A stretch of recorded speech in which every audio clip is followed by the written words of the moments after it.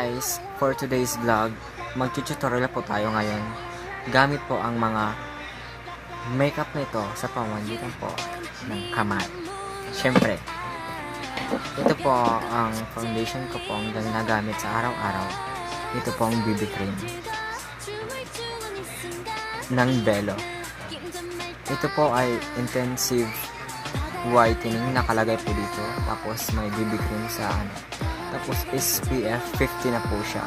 Pang malakasan na po siya. Tapos tone correcting medium to deep. 50 ml na rin po siya. Tapos may nakalagay po dito sa likod. Babasahin ko. covers instantly, oh, no, instantly covers blemishes and imperfections as it works to intensively whiten skin. Use alone for a flawless, no makeup look or layer under your favorite foundation or powder. So, tapos meron pa dito nakalagay, tone correct. Tone correcting formula evens out skin tone and leaves flawless, natural finish. Kojic acid plus tranexamic acid whiten skin deeply and reduce the appearance of stubborn dark spots. Ayun. Tapos, SPF 50 siya and PA+++, apat na plus po yung nakalagay dito. So, super effective po talaga. Ayun, super pangmalakasan siya para sa, ano, sa araw. And use stage tap before use. Apply a small amount onto face and blend evenly with your fingertips. Can serve as primer substitute. substitute. Super rin can serve as primer. So, maglalagay na po tayo ng kahit konti. Tapos, pwede na po siyang ilagay. Tapos, i-blend nyo lang po siya. And warning for external use only. Avoid contact with eyes. Keep out of reach of children. Do not swallow. Minimize exposure to the sun for extended periods of time. Siguro ko, I, I think, um, bago ka lumabas ng bahay or bago ka mag-expose sa araw, 30 minutes bago ka, lum bago ka mag-araw. Hindi man sabi nila sa akin. Pero, ito nga, yun ang mga nakalagay dito. Tapos may ingredients pa dito. Water, madami. May hydroxide, lysine, titanium dioxide. Yan. Actually guys, nabili ko to noong ano pa. Noong October. Ay, October na yun. Noong August, nabili ko to. Sa Watson's at ako to nabili doon sa ano. Nakalimutan ko kung magkano siya. Um, pero i-search nyo lang po siya kung magkano po yung exact price niya po ngayon. And pangalawang gagamitin natin is yung itong syempre para hindi naman po tayo mag maputla tingnan. Gagamit po tayo ng Caroline Gelatin. Marami na pong gumagamit ito ngayon. Pati lalaki po gumagamit ito ngayon. Para sa pang-araw-araw nila at para hindi na maging ang mukha. Um, tapos, wala namang ano to. So, okay lang gamitin. And, syempre, kilay is life. Ganon. Kilay is life. Actually, binili ko to. Kasi nga, pang personal ko din to ginagamit. Kahit saan dinadala ko to kasi pag may lakad ako, kahit pa paano kilay goes tayo. Ngayon lang kasi ako walang kilay. Kasi ngayon, maglalagay ako. And ito nga, ngayon na nga, sisimulan na nga natin yung pag tutorial ng makeup look pang lalaki. And ayun nga, kakatapos ko lang may ang pasensya na po sa background ko. Oh, may pa-flower pa. May pa-flower pa po tayo ngayon. Tapos, simulan na natin. Na, bubuksan ko na po. Siyempre guys, dapat malinis po yung ating mga kamay kung maglalagay po tayo.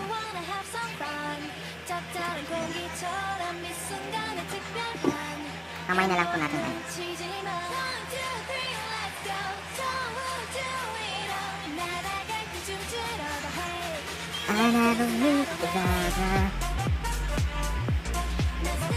Dapat ano lang, konti lang yung lalagay nyo kasi para hindi ma, ano, maging maputi yung mukha nyo. Dapat ano lang, pantay.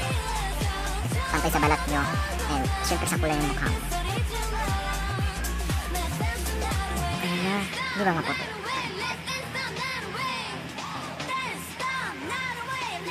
Ayan.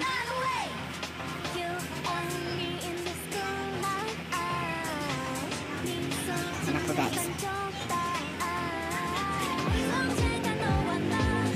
At saka nga pala, kung gusto niyo maglagay ng powder or para hindi lang maging oily, tingnan yung mukha niyo.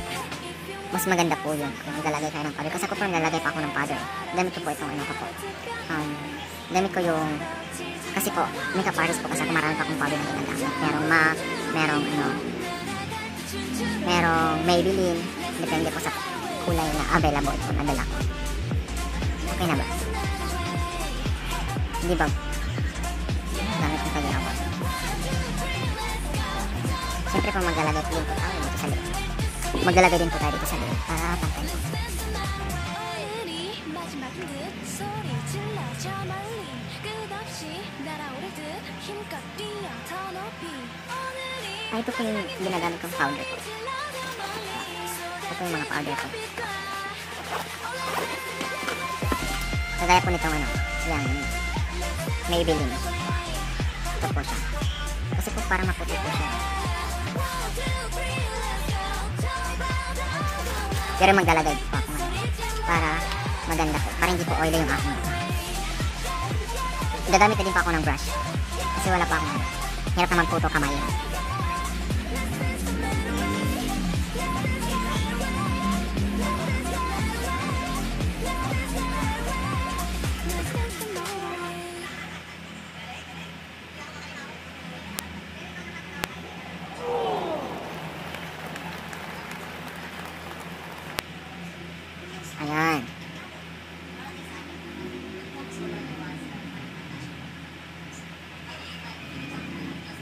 Sakto lang po kasi pag madami yung nalagay mo pa, baka maano ka, magmumukhang bangkay, sabi nila.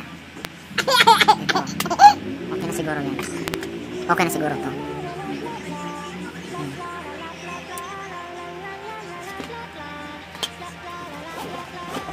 Yan. Balik ko na. Tapos, left. Pwede, kung meron kayo nito, pwede kayong gumamit nito. Ito na po. Gagamitin ko na po ito ang pangkilay.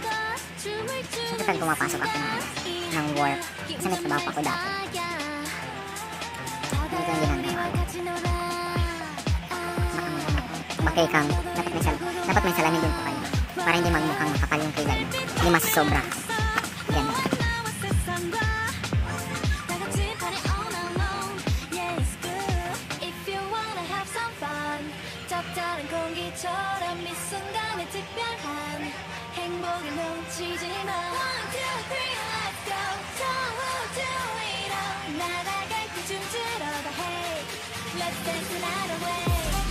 Ayan. O, di ba? Kilay is life.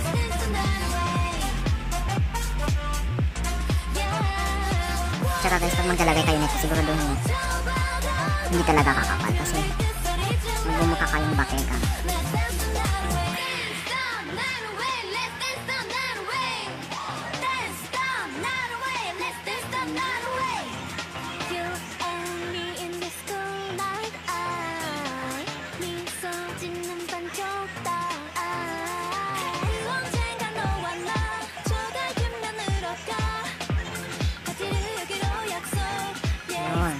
Binabrush nyo lang siya.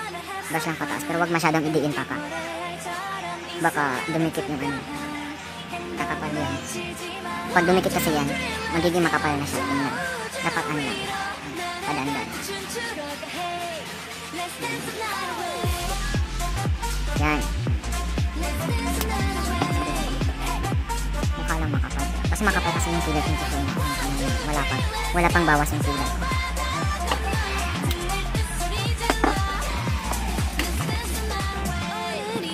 Tapos, yung pangatlo, ito na po, yung gelatin po from Caroline. 65 ata to, nabili ko to sa Watsons. Ito na po. Siyempre, konti lang yung nilalagay niyo po para pwede nyo rin kamayin.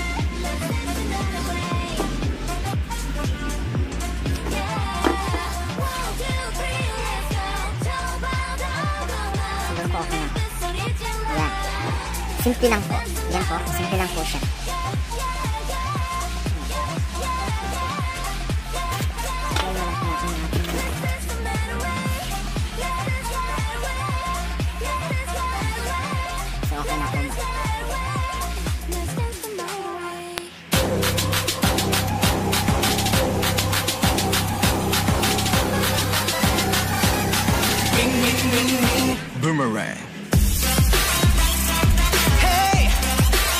So, ayan lang po guys. Madaling-madali lang po. Para po sa mga ano, ito po ay para lang po sa mga gusto maglagay ng makeup pang lalaki po. Para maging confident din po kayo. pagpasok sa trabaho nyo or pag may lakad kayo or ano, maging komportable lang po kayong tingnan. At guys, ko na po ito papahabain at hanggang dito na lang po. Maraming maraming salamat po sa panonood niyo po at sana po mag-subscribe po kayo sa akin and like. Thank you po. Bye!